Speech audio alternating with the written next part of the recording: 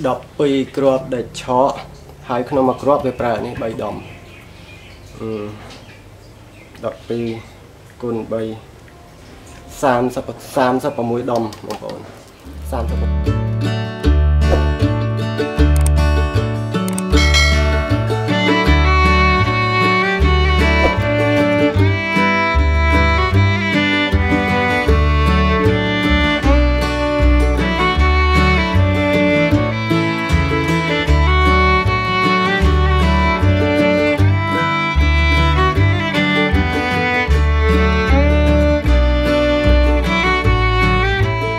បាទជំរាបសួរបងប្អូនជំរាបសួរហ្នឹងហើយអឺថ្ងៃនេះខ្ញុំចង់មកធ្វើវីដេអូបន្តិចហ្នឹងហើយពាក់ព័ន្ធពី motor ម៉ាស៊ីនបោកខោអាវបងប្អូនហ្នឹងហើយ motor ម៉ាស៊ីនបោកខោអាវខ្ញុំនឹងធ្វើការគេហៅថាវះកាត់វាបងប្អូនវះកាត់វាគឺលួសមកជុំទាំងអស់នេះវាភ្លើងហ្នឹងហើយភ្លើងវាច្រើនគឺចង់និយាយថា ភ្លើងវាដល់ដល់តែ2 300វ៉ុលហ្នឹងហើយតែអំពែវាបានតិចហ្នឹងបងប្អូនអំពែបានតិចហើយតែអញ្ចឹងខ្ញុំគិតថាវ៉ុលយើងមិនបាច់ឲ្យខ្ពស់ពេកទេវ៉ុលណាហ្នឹងហើយហើយខ្ញុំគិតថាធ្វើអំពែវាឡើងមកឲ្យវាបាន1 1ជា3 1ជា3អំពែណាហើយវ៉ុលឲ្យវាធ្លាក់ទំ40ជាងវ៉ុលឯងបានហើយ ធ្វើអំពែវាឡើងវិញដើម្បីយកយកទៅធ្វើចង្ហាល់ខ្យល់យកទៅសាកអគុយយកទៅចង់និយាយថាយកទៅធ្វើម៉ាស៊ីនវាជុំហ្នឹងហើយຂະຫນាតតូចបាទຂະຫນាតនេះវាបានបើធ្វើម៉ាស៊ីនវាជុំຂະຫນាតនេះបានប្រហែលជា3គីឡូជាងជាង3000វ៉ាត់ហ្នឹងបងប្អូនហើយខ្ញុំបញ្ជាប់ជាមួយបតទេហ្នឹងហើយវាមានមែនបតមួយនេះ បតនេះបត4000វ៉ាត់បងប្អូន4000វ៉ាត់បត inverter ណា4000វ៉ាត់ហើយតែអញ្ចឹងបើថាយើងធ្វើម៉ាស៊ីនវាជុំហ្នឹងគឺយើងពវល់វាហ្នឹងហើយពវល់វាឲ្យភ្លើងហ្នឹងបានមកឲ្យយើងចាំបតនេះទៅខ្ញុំគិតថាអញ្ចឹងណានឹងហើយតែជាបញ្ហាគឺបតនេះវាទទួលទទួលភ្លើងចូលហ្នឹងហើយ ទទួលភ្លើង DC ចូលហ្នឹងវា220វ៉ុលទៅ420វ៉ុលខ្ញុំនៅគិតពីរយ៉ាងបើថាខ្ញុំប្រើឧបករណ៍ដំឡើងភ្លើងចាំផ្លែតបើខ្ញុំប្រើឧបករណ៍ដំឡើងភ្លើងហ្នឹងហើយពីពីអាគុយឧទាហរណ៍ថាខ្ញុំប្រើអាគុយ24វ៉ុលខ្ញុំប្រើឧបករណ៍ដំឡើងភ្លើងពីអាគុយមក ខ្ញុំគិតថាវានឹងជាងណាភ្លើងវានឹងជាងឲ្យកម្លាំងចេញទៅប្រើហ្នឹងវាល្អជាងខ្ញុំគិតថាចេះហើយបើសិនណាយើងអត់ប្រើអាគុយយើងត្រូវប្រើអានេះมันបាច់វាកាត់ជាអំពែតម្លើងអំពែទេអំពែប៉ុណ្ណឹងវាគ្រប់គ្រាន់ហើយតែធ្វើវ៉លឲ្យវាបាន300ទៅ400វ៉លដើម្បីមកឲ្យបតនេះដោយត្រង់ហ្នឹងហើយបតនេះដោយត្រង់ហើយតែអញ្ចឹងបើថាយើងយកវ៉លឲ្យត្រង់មកឲ្យវា ធ្វើម៉េចឲ្យបាន300ទៅ400វ៉ុលឲ្យបតនេះធ្វើការដើម្បីផលិតភ្លើង220ជា AC មកប្រើហើយតែអញ្ចឹងខ្ញុំគិតថាវាភ្លើងវាអត់សូវនឹងនឹងវាអត់សូវនឹងណាវាអត់សូវនឹងវាមានពីរពីរយ៉ាងដូចខ្ញុំបាននិយាយហ្នឹងគឺចង់និយាយថាអឺទី1យើងមិនបាច់ធ្វើអីទេម៉ូទ័រនេះយើងមិនបាច់វះកាត់អីទេយើងយកភ្លើងពីវាមក យើងធ្វើជុំឲ្យលឿនបន្តិចទៅណាធ្វើជុំឲ្យលឿនហើយយើងដាក់កងយងដាក់អីទៅដើម្បីជួយកម្លាំងវាយើងធ្វើជុំឲ្យលឿនទៅដើម្បីភ្លើងវាបានមកវ៉លវាបានមក200 300ទៅ400វ៉លហ្នឹងគឺប្រើបានហើយហ្នឹងហើយបើថាយើងដាក់កងយងយើងទប់លំនឹងបាន តែយើងធ្វើអញ្ចឹងយើងមិនបាច់ប្រើ DC 2 DC តម្លើងភ្លើងទេ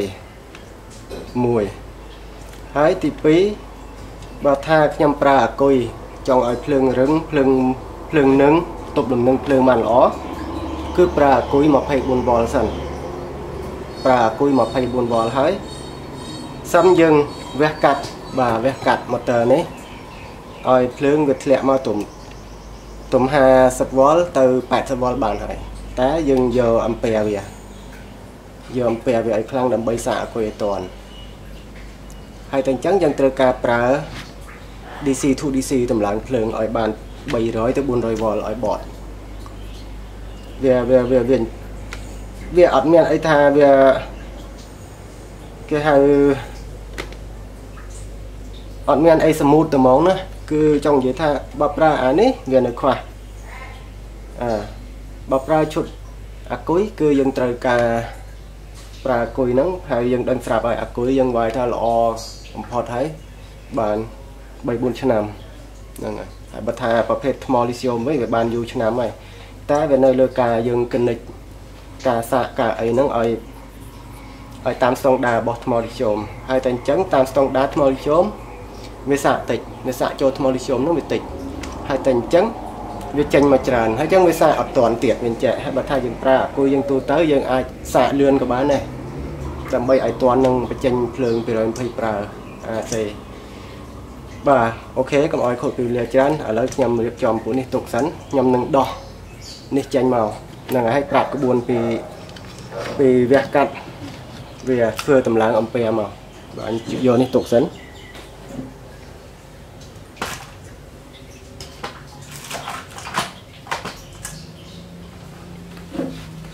អូខេយើងចាប់ដើមមកដោះតែម្ដងទៅហើយខ្ញុំដោះដោយខ្សែនេះសិន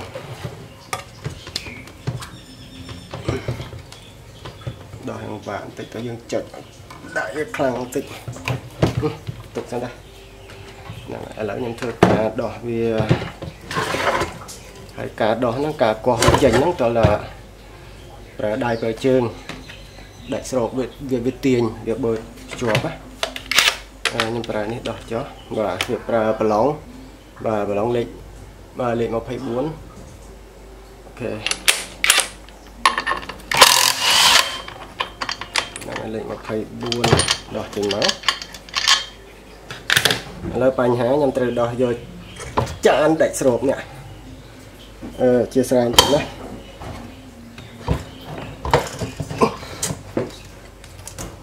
ជាប់បងប្អូនវាបើក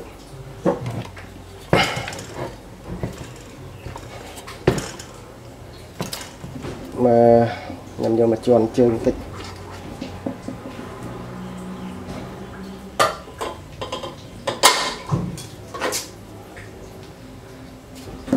អូខេតើប្រើប្រើដៃប្រើជើងហ្នឹងហ្នឹងហើយពេលខ្ញុំប្រើជើងជន់អញ្ចឹងទៅជិលថតឲ្យមើលវាមិនសមគួរបាទនេះចង់មកបង្ហាញដាច់ស្រូបសិនដាច់ស្រូបវាហ្មងណាហើយដែរមេដែកណាបាទបងប្អូនខ្លះហៅមេដែកបងប្អូនខ្លះហៅដាច់ស្រូបហ្នឹងដូចតែគ្នាមេដែកដាច់ស្រូបបាទដាច់ឆក់ដាច់អីហ្នឹងដូចតែគ្នាទេនេះវាប្រើធំដែរ ហ្នឹងហើយមើលខ្ញុំវាស់ឲ្យមើល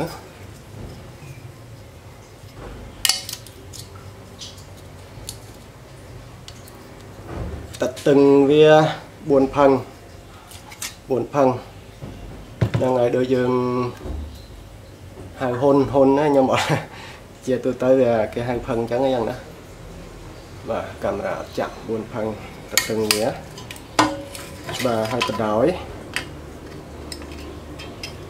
ទូទៅគេហៅផឹងអញ្ចឹងយ៉ាងណាបាទកាមេរ៉ាអត់ចាក់4ផឹងតតឹងវាបាទហើយបដោយបដោយ7 7ហ៊ុនចុះ7ផឹងនេះហើយដាច់ស្រូបនេះវាប្រភេទដែលស្រូបពណ៌ខ្មៅបងប្អូនដែលស្រូបពណ៌ខ្មៅហ្នឹងកម្លាំងការ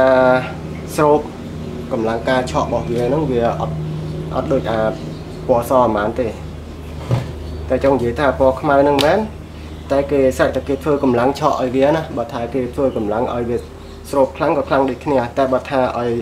ឲ្យដូចពណ៌សតែម្ដងវាអត់ដូចណាពណ៌សគឺវាខ្លាំងតាំងតែកើតតែហ្មងបាទយើងអញ្ចឹងទៅនឹងហើយនេះបាទធំដែរតាមើលវាស់មុខកាត់វា30បងប្អូន30មុខកាត់វា30បាទ12អ៊ីងហ្នឹងហើយ12អ៊ីង30មុខកាត់វាអូខេដាក់ចុះសិន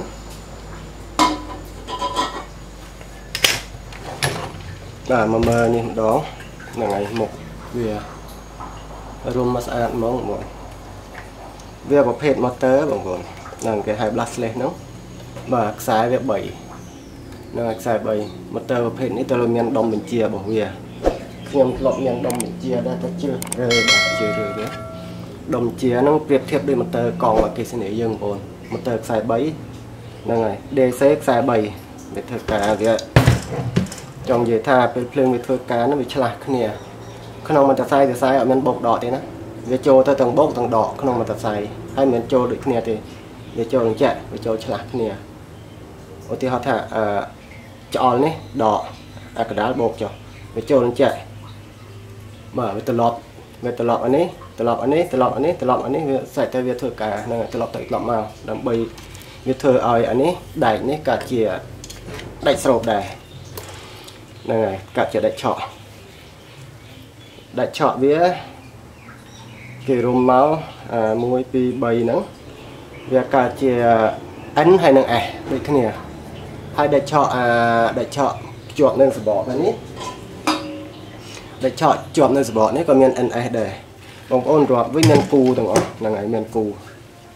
ដាក់ឲ្យវាសេះអត់បានទេណាដាក់មានគូហ្នឹងហើយជាគូមកអូ ខេឥឡូវខ្ញុំរាប់តាមណាបាទចាប់ដើមទៅនេះទៅហ្នឹងហើយ1 2 3 4 5 6 7 8 9 10 11 12 12ហ្នឹងហើយ12គ្រាប់ដែលឆក់12 12បើដែលឆក់12គ្រាប់ឥឡូវខ្ញុំសុំប្រើម៉ាស៊ីនគិតលេខបន្តិចគណនាវា 12គ្រាប់ដែលឆក់ហើយក្នុងមួយគ្រាប់វាប្រើនេះ3ដុំ12គុណ3 30 36ដុំបងប្អូន36ដុំដុំភ្លើងហ្នឹងហើយបើជឿរត់ទៅដូចគេក្បួនវាធ្វើអញ្ចឹង1ជា3បងប្អូន1ជា3ឥឡូវខ្ញុំរាប់ដល់ឥឡូវខូចពេលវេលានៅពេលរាប់នឹងតិចឥឡូវខ្ញុំចាត់ដើមពីតនេះទៅចុះ បាទពីនេះទៅហ្នឹងហើយ1 2 3 4 5 6 7 8 9 10គូស1 1 2 3 4 5 6 7 8 9 10គូសទៀត1 2 3 4 5 6 7 8 9 10គូសទៀត1 2 3 4 5 6ហើយដែរ36បាទ36 ក្នុងការវះកាត់យើងត្រូវបែងឲ្យស្មើគ្នា30 36ដុំហ្នឹង36ដុំយើងធ្វើម៉េចឲ្យនៅសល់តែ12ដុំមិនមែន12ដុំហ្នឹងយើងត្រូវកាច់វាចោលមែនទេណាយើងយកយើងចែកជា3ហើយយើងយកខ្សែដែលថាចែកជា3ដុំហ្នឹងយើងយកមករួមហ្នឹងហើយអឺមើលយើងនិយាយមិនវារួមមាន3ដុំបងប្អូន3ដុំអឺ ក្នុងមួយដុំវារួមមានអឺក្នុងអាចិត្តគ្នាអញ្ចឹងណាហ្នឹងហើយមកមកមកមកដុំមកដុំដាច់ឆក់ហ្នឹងដាច់ឆក់ហ្នឹងបើមកដុំដាច់ស្រូបហ្នឹងវារួមអានេះ3ដុំពិបាកនិយាយតិចហ្នឹងហើយដាច់ស្រូបវាមិនអឺបដ ாய் វា6 6ហូនចុះហើយតែអញ្ចឹងវាមានមើលខ្សែមកខាងនេះវិញ3ដុំណានេះ3ដុំនេះ1 2 3នេះ1ទី3ហ្នឹងគឺវារុំក្រហម អឺខៀវលឿងក្រហមខៀវលឿងក្រហមខៀវលឿងហ្នឹងហើយហើយតែអញ្ចឹងយើងដឹងហើយដុំមួយណាក្រហមអើដុំមួយណាខៀវអើវាក្រហមខៀវលឿងក្រហមខៀវលឿងហើយអញ្ចឹងយើងយកអាដុំទី3ដុំទី3ហ្នឹងគឺយើងដឹងថាពណ៌លឿងហើយដុំទី3មកជាប់នឹងដុំទី3ខ្ទង់មួយទៀតបាទដូចគ្នាអាដុំទី3នេះ មកភ្ជាប់នៅដុំទី3ខ្ទង់នេះទៀតវារៀបអញ្ចឹងបងហើយអាខៀវក៏ដូចគ្នាយកយកយកដុំទី2ដុំកដាលនេះរំលងមក1 2 3ហើយអញ្ចឹងយក2អា3នៅនេះណាបង3នៅនេះ1 2 3អានេះលឿងអានេះខៀវអានេះក្រហមហើយអញ្ចឹង1 2 3អាហើយអញ្ចឹង1 2 1 2យើងយកអា2កដាលកដាលនេះជាប់គ្នាកដាលកដាលនេះជាប់គ្នា គេហៅថាយក3ចូល1ហ្នឹងហើយតែខ្សែនៅដដែលខ្សែហ្នឹងមិនមែនថាធ្វើឲ្យ3ដសៃទេអើបាទមិនធ្វើឲ្យនៅសល់2ណា3ដដែលកតុយវានៅជាប់គ្នា3ដដែលតែគាត់យើងគុំចូលគ្នាដូចនិយាយមិញហ្នឹងហើយយើងមានយោតបាទយោតនេះបាទយើងមានយត់ជើង5នេះហ្នឹងហើយមករួមខ្សែវិញអឺ 3រស័យបាទយត់ជើង5នេះវាចូលមក3អូខេខ្ញុំខាត់បន្តិចចូលមក3ចេះខាងណាក៏បានដែរត្រឡប់ខាងណាក៏បានដែរហ្នឹងហើយចូលមក3ហើយវាចេញមក2នេះសញ្ញាបូកដកចេញមក2បូកដកហើយអញ្ចឹងអាចេញហ្នឹងយើងទៅឆ្លងកាត់កុងតឺលើសាកអាគុយក៏បានឬក៏សាកដោយត្រង់ក៏បានដែរសាកទៅយើងទេហើយបើសាកដោយត្រង់ទៅឃើញថាវាអត់មានអីពេញផ្ដាច់ស្រកតទេយើងក៏ឆ្លងកាត់ឧបករណ៍សាកទៀតទៅ អូខេនិយាយឲ្យច្រើនតែនៅវីដេអូហ្នឹងអត់ចប់ទេពេលហ្នឹងចាំធ្វើវីដេអូថ្មីបន្តទៀតឥឡូវខ្ញុំប្រើអឺខ្ញុំដោះអានេះចេញមកប្រើលិចដកខ្ញុំខំស្គាល់កូនសោមកអូខេចាំផ្លែកមើលទៅដូចធំវាមានកាសវាហ្នឹងហើយមើលដូចធំវាលិចដកអូខេដោះចេញមកកុំអីក៏បាក់មើល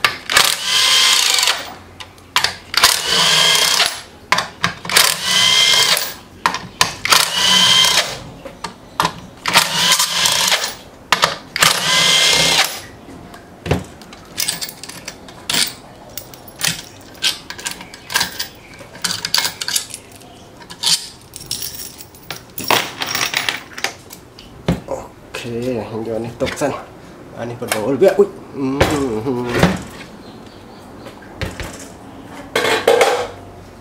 ហ្នឹងហើយបងប្អូន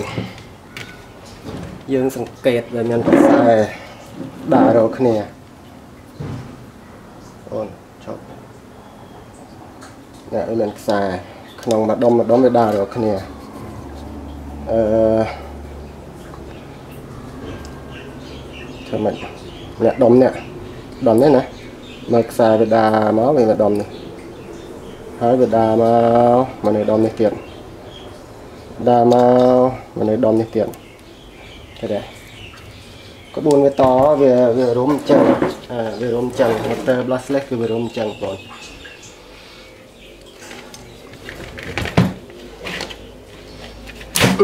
ដកបានវារុំពីខាងនេះទៅបងប្អូនពីដូចនេះណា វារួមពីខាងនេះមកហើយកតុយវានេះកតុយវាមករួមគ្នាហ្នឹងហើយកតុយវាមករួមគ្នាទាំងអស់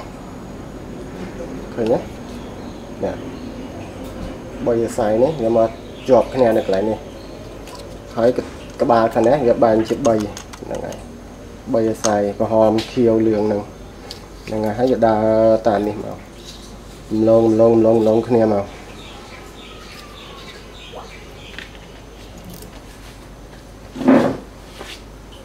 ខ្សែធំដែរបងអូនវារុំខ្សែធំដែរអឺធ្វើអញ្ចឹងបងអូនធ្វើអញ្ចឹងខ្ញុំវីដេអូហាំងវែងតិចហើយ17នាទីខ្ញុំអត់ចង់ធ្វើវីដេអូឲ្យវែងទេហើយពិបាកមើលហ្នឹងហើយចាំខ្ញុំធ្វើវីដេអូបន្តទៀតឥឡូវហ្នឹងវីដេអូហ្នឹងឃ្លីបហ្នឹងគឺបង្ហាញពីការដោះការអីទៅបាទបាទសូមអរគុណតាម EP2 បាទអរគុណច្រើន